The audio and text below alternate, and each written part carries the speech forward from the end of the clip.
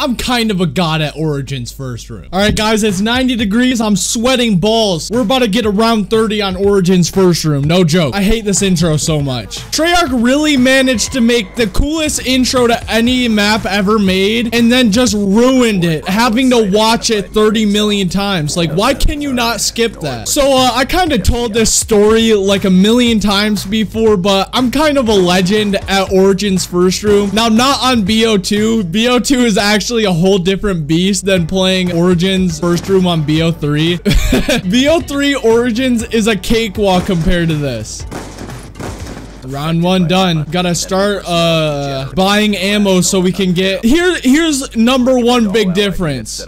Oh my god, why is the dialogue audio so loud? Okay, and I can't turn off dialogue volume zone until further intel is available. Yeah, thanks, Dempsey. Shut the hell up. But in Black Ops 3, right, you could like buy buy a few gobble gums and run one round and spend 30,000 points. But in this game, you actually have to buy, how, how much is it? 30, 30 times four. You have to buy ammo 120 times. I think I did that math right. I, I, please tell me I did that math right. 30, 60, 90. Okay, okay, I did it right. So I've told this story like 100 times, but... further evidence of large-scale mechanization of German forces.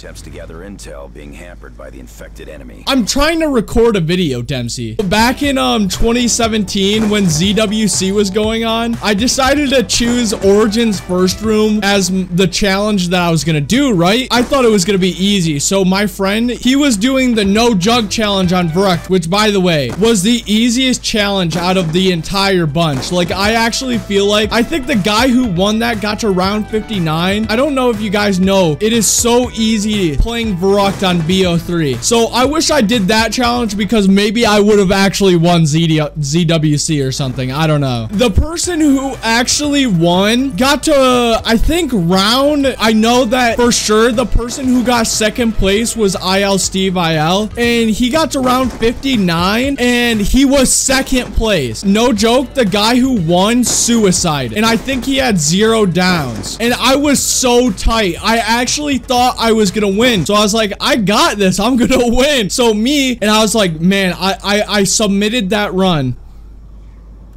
and I wasn't even on the leaderboard. It was the worst thing ever thinking I was gonna win ZWC. Now, I wasn't a sore loser, but man, that really got in my feelings that day. I was so sad. Uh, and I, I remember that night, I was in tears. I ain't gonna even act like it didn't happen. I was, I was genuinely in tears. Okay, okay, okay. Okay, I'm bad at zombies. Please stop, zombies. I don't know how I'm gonna get this pack-a-punch gun. I forgot. Ah!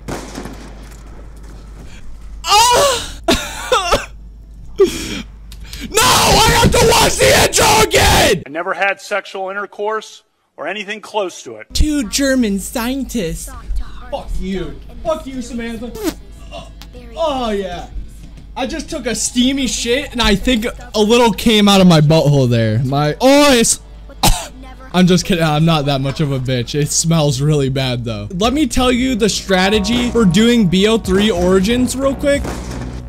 It was actually really simple, so here's how I did it. I think in the first 10 rounds, you would be able to get the pack-a-punch gun. And so what I would do, I would get the Sheiva with my with my nice nice cherry fizz camo, and I'd get stock option. And I would just drill headshots because the zombies will only come from this way, which is so nice. Once you got the pack-a-punch gun, it was like smooth sailing from there. I think you could usually typically go to round 20 without having to train. But the thing is, when it would come down to training, I would always die. Your Honor, can you really blame a young man that did it for the vine? See, I'm pre I'm predicting their movement and still missing. Oh, why the hell are you running? How am I gonna do this? Oh, penis in the butt. Gonna make me nut. they call me Bars Purier for a reason. Oh, I just almost died there. Oh no. Oh shit, oh far. Oh! Oh, oh no. Oh no. Oh no.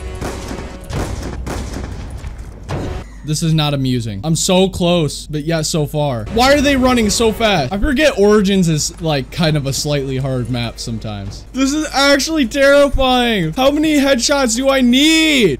Hey Google, how many headshots do I need to get the Pack-a-Punch gun in Origins Black Ops 2? 115 headshots. Oh, Website attack of the fanboy. thanks Google. Okay, stop! Once you get Google, stop!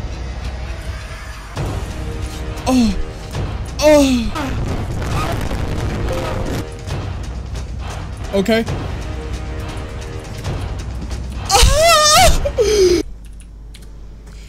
Ah! Why? Come on.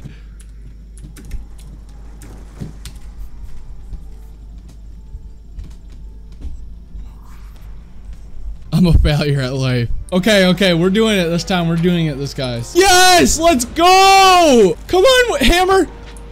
Oh, it's a Galil. Okay, it's a Galil. Let's go. Oh man, this is great. I never thought I'd be here. All right, now I have to somehow get 30,000 points spent. I think what I'm going to do is I'm just going to keep on buying guns over and over. It would have been nicer to have gotten the hammer because it has just higher base ammo and damage, but whatever. Ooh, round 10. I got a little nut wedgie right now. That's how hyped I am. I just had to pull that crap out. I'm wearing my um my lucky underwear today for just for this video.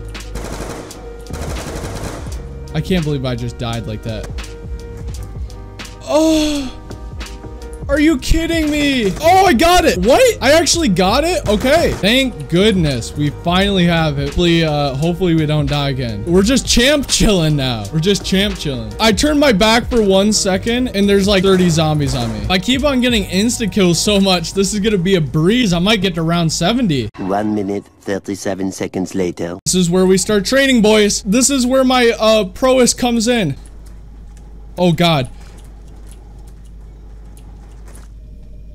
Okay, never mind. Apparently, the game just wanna just wants to lag and make me stop moving entirely. I was about to say I don't even know what